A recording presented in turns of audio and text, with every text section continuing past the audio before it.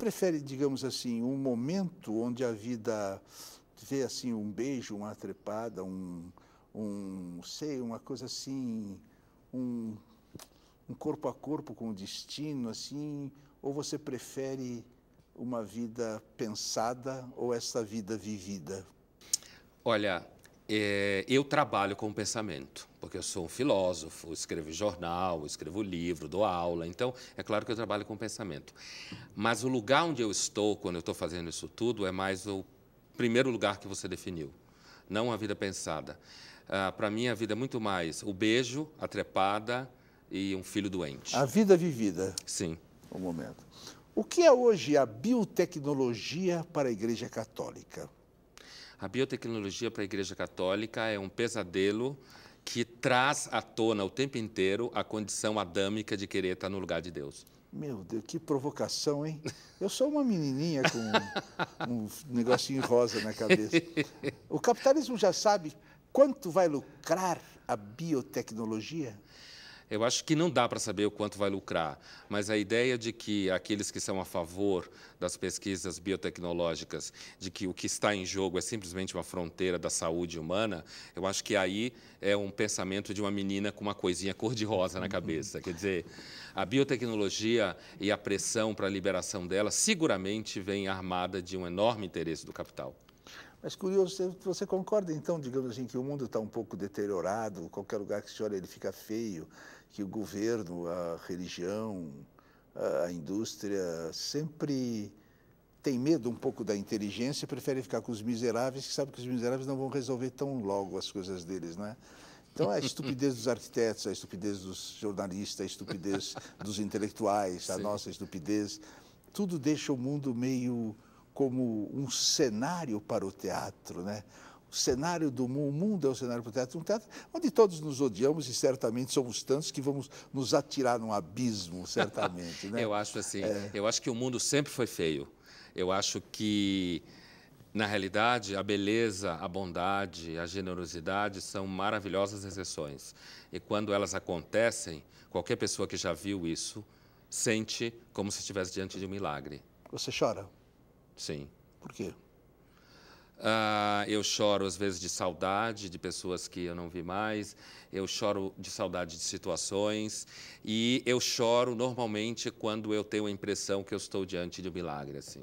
Quando o mundo quebra sua ordem miserável, Ou seja, quase nunca. raramente. Tá. Você chora diante da beleza? Sim. Você é um chorão. É, quase nunca, mas sim. Bento XVI teria sido uma tentativa da Igreja Católica de ficar up to date com a era Bush? Não, acho que não. Eu acho que, ah, sem pensar em grandes processos históricos, uma espécie assim, de Hegel paranoico e achar que tem todo o movimento histórico no mundo, coisa que eu não acredito, eu acho que o Bento XVI, na realidade, ele é uma continuidade de João Paulo II e uma continuidade que vem depois do Concílio Vaticano II, que é, ah, é reequilibrar o processo de modernização na igreja, no sentido de fazer críticas à posição moderna. Mas nem chegam aos pés de João 23.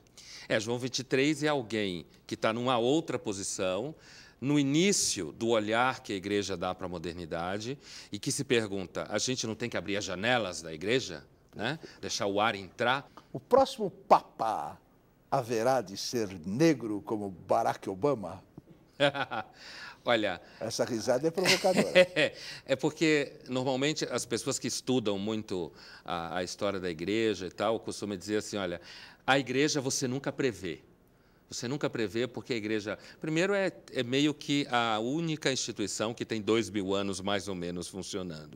Ou Então, seja, é absolutamente previsível. não, não. É previsível, É se assim. prevê tudo na igreja. É, mas a gente erra muitas vezes, porque assim, quando veio o João, João Paulo II, em 78, 79, se você fosse avaliar pelo andar da carruagem, você ia achar que talvez a igreja continuava no seu movimento de convergência com a modernização.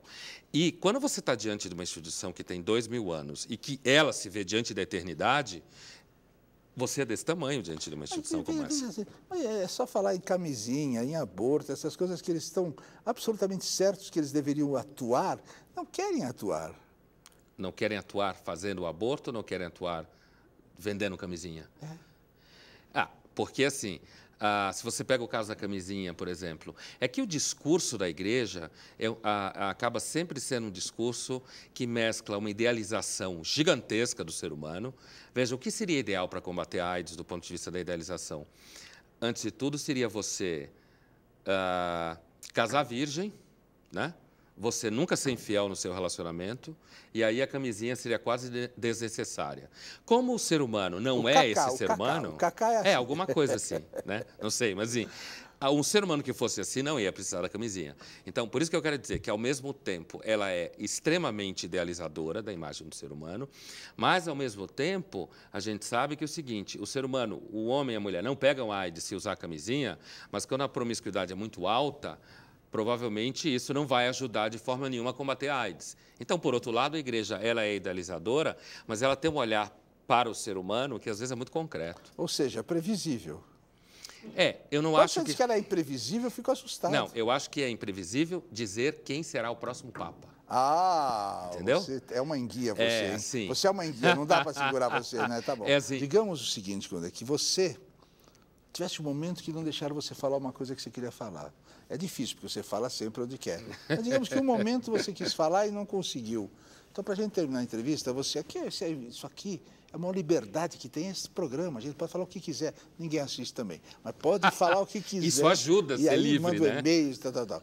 Olha para aquela câmera Sim. e encerra a entrevista do jeito que você quiser, falando o que você quiser. O que eu gostaria de dizer e nunca disse? Posso falar? Então, é o seguinte: uh, acho uma pena que se perca tanto tempo na, na vida acadêmica e na vida intelectual tentando afirmar o que todo mundo acha que é legal para você ter muitas fãs. Daqui um abraço, que a única coisa falsa desse programa é o abraço. Agora fotografa, não sairá nada no jornal, a não ser quando você morra.